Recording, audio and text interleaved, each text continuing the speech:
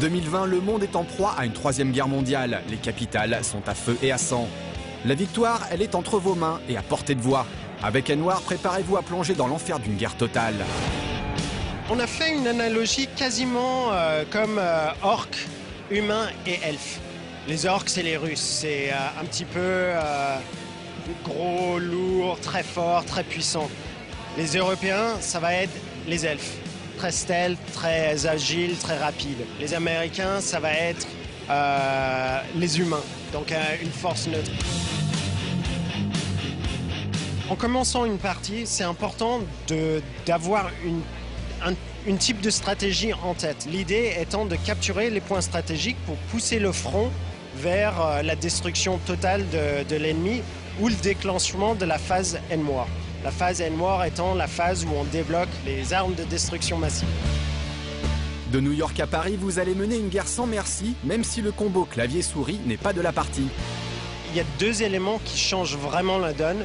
Le premier, c'est euh, la caméra juste au-dessus de- des unités, ça rajoute à l'immersion. Le deuxième truc, c'est qu'on a simplifié les contrôles. On a même ajouté une commande vocale où on peut contrôler tout sur le terrain juste avec sa voix.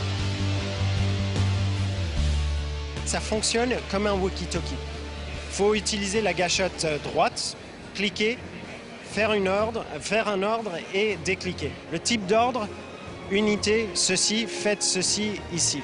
Et avec ça, et avec le pointeur, on peut tout faire sur la map. Que vous soyez novice ou maître de guerre, Noir met à l'épreuve votre sens du devoir face au monde entier. Le théâtre de guerre, c'est le mode massivement multijoueur.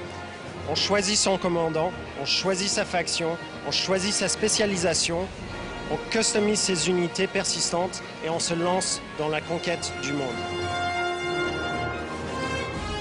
Chaque faction va se battre tous les jours, on va cumuler tous les scores et chaque jour, le théâtre de guerre se remet à jour et on voit comment le front a bougé. Et l'éditeur Ubisoft aime jouer à Mais où est Charlie en invitant les plus grandes franchises de la famille Tom Clancy? Au niveau de toute la, marque Clancy, on a essayé de prendre deux trois, deux, trois choses et les mettre dans le jeu. Donc la faction américaine, un des colonels, ça va être Scott Mitchell, qui est le commandant des Ghost Recon aujourd'hui. Les avions qui font les, les attaques aériennes, c'est Hawks. L'information militaire qu'on nous donne vient de Third Echelon. Third Echelon étant bien sûr le patron de Sam Fisher dans Splinter Cell.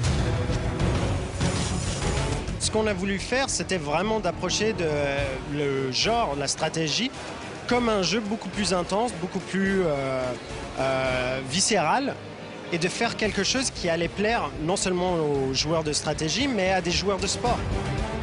Avec Noir, pas besoin d'avoir fait Polytechnique pour être un général d'armée. Non initié et fin stratège, lancez-vous dans la bataille avec pour seule arme vos cordes vocales. Prévoyez quand même les bonbons au miel